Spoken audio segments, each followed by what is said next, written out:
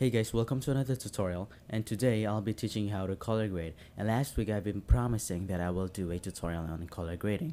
And last week um, if you missed the episode make sure you check it out. The episode is called how to color correct your video. So basically I will teach you how to color correct which was not uh, known by the camera and easy to way to fix it and I've even made a solution on how to do it even you don't have a white balance um, plugin. So make sure you check that out. And now um, I will do a color grading uh, tutorial. And what I mean by color grading is very simple. You just color grade your video. And uh, just know this, colors can change mood. So um, I don't have a video for this, but uh, this picture uh, looks like a film look. So I will just uh, match that to outpass and uh, just adjust that there and basically this looks like a film unless if it doesn't look at the camera straight uh, he's my uncle, and uh, yeah, just want to tell that out. Um, so as you can see, I'm just playing around with that, and uh, the picture looks quite okay. As you can see, it was shot on DSLR, and uh, the quality is just great. Um, yeah, uh, this is basically raw, no color correction or anything. So now I would like to change this mode. Just want to tell you that I am not an expert on color grading, but I do know the fact that as an experienced person, that I know what I'm doing and make sure you can research on what uh, different types of color grading such as indie look and vivid and there's lots of types you could go after. And there are even some plugins that are um, here and has a sorry for that static um, that has a preset and you could just apply that.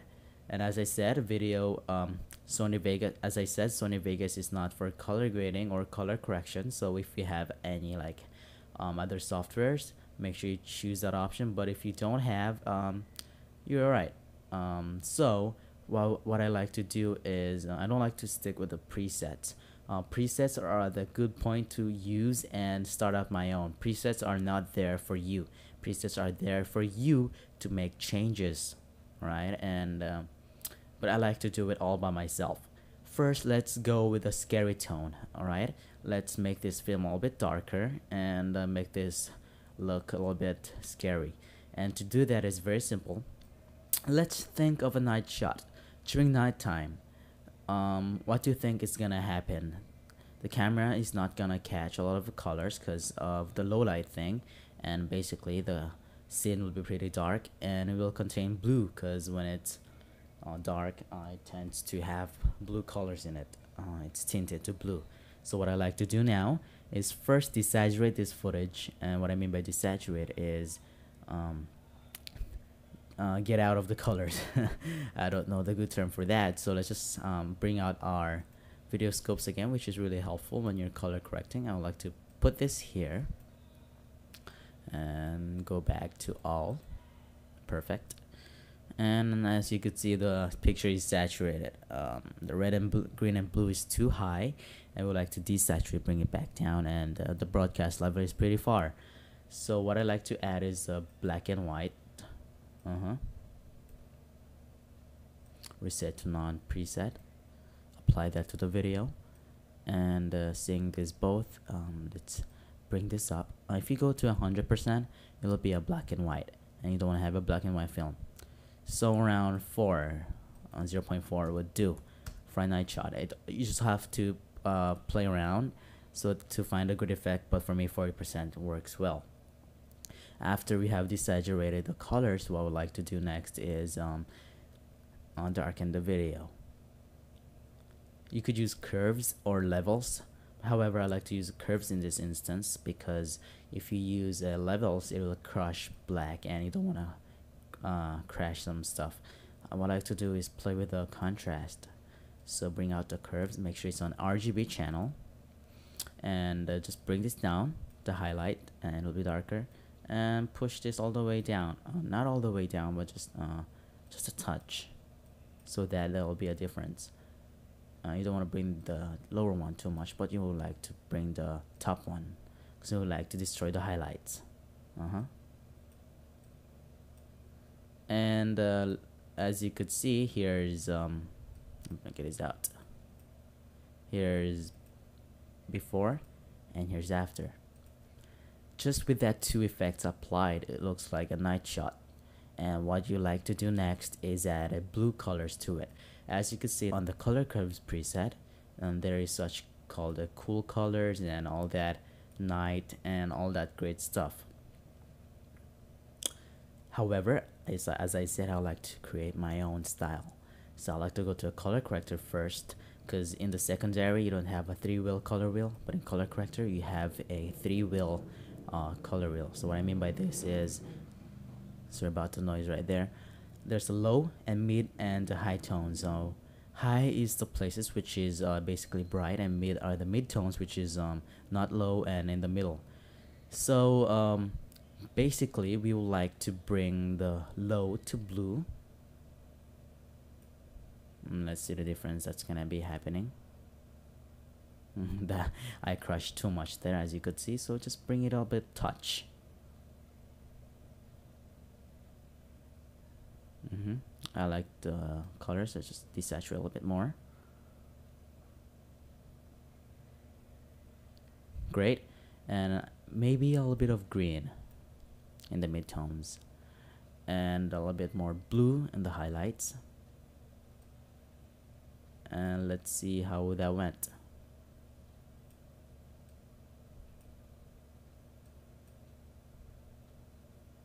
So here's um, before and here's after. Now uh, you could add some more effects to darken this video. I would like to darken it a little bit more so going back to video effects and going to color curves and uh, crashing the highlights more. Now that looks a little bit more better. Uh-huh. Can always play around uh, which goes first and which goes uh, later on. And uh, yeah this must be in front. Now as you could see the mood is basically um, dark and as you could see it's kind of horror and all that stuff. So to show you I have a half chosen here the left one is before and the right one is after. So um, yeah that's how you simply do it in uh, dark situations. And let's just all cancel this. And now we would like to um, make this scene a little bit more uh, let's just say a film look and what I mean by film look is from the Michael Bay color correction. Uh, Michael Bay is a director of the Transformers and how he color corrects his videos. And let me tell you how you do that. All you need is one color corrector and uh, bring down the reset to non preset uh, to the video track. And what you do next is pretty simple. Uh, this is how the Hollywood styles uh, color grade their own videos. First of all what you do is to bring the midtones to orange a little bit the reason why we bring up the midtones to orange is because midtones are the skin tones and you basically want to have a great skin tone so as you could see here's before and after. Uh, you could see a little bit of change on his face.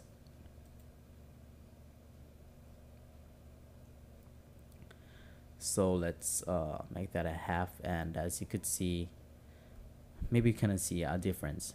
Well, if you just bring that a little bit more to orange and uh, there we go.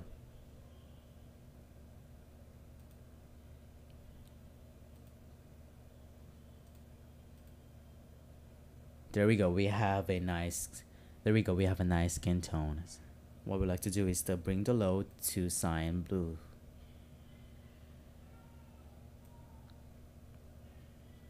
Perfect. And the high around a little bit of green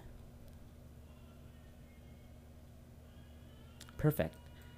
Now what you can do now is add a saturation controls I think my video was too saturated. Uh, I like to desaturate it. Uh, perfect. Uh, I think that was a little bit too much. That'll do. Now um, you could always bring up the gamma or bring down the gamma. However I would like to bring down the gamma to make this video a bit darker.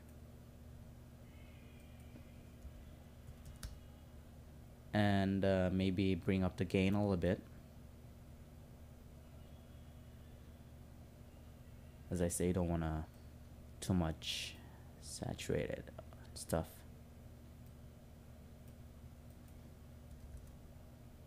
And uh, five. Maybe not there we go. And you can always feel free to save this preset as a film look. And just click this save button and that will be saved as a preset. Now how does that look? As you can see the skin tones was well preserved as you can see on not not on my face but his face. I got a nice a orange feel to it. And in the shadows such as my shadows right here is uh, tinted to cyan, cyan blue as you can see right here. And a little bit of highlights um just say on my hair is add a little bit of green. So that is the Michael Bay style and it all depends on which film you're looking but here is before and after again. So yeah um basically it changes the mood and uh, basically without the effects it kind of looks unprofessional with no color grading applied just looks uh, straight out from your camera and you don't want to look like a newbie in front of many people. So color grader added perfect. I love that. And what I want to do next is trying to make this look more film look. So we just click on event pan slash crop and basically turn off the lock aspect ratio and uh, enable snapping and just simply bring those down. Oops. There we go and uh, find a good place to position. And hmm, that's a little bit too up there.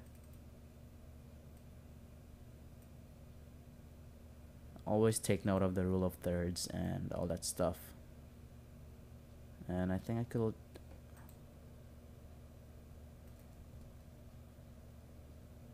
zoom in a little bit more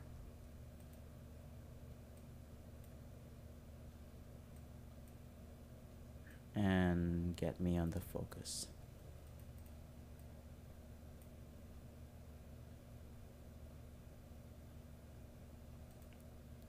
All right, there we have it. Uh, just with simple changes, uh, that already looks like a film to me. Don't you think? All right. Thank you guys for watching and make sure you do more research about it and maybe next time I'll teach you how to color correct on After Effects and or other program. And this is basically how you do it and make sure um, you see it on preview full to see all the details and all that stuff. So thank you guys for watching. Um, I hope this was useful. And uh, yeah thanks for watching. I'm out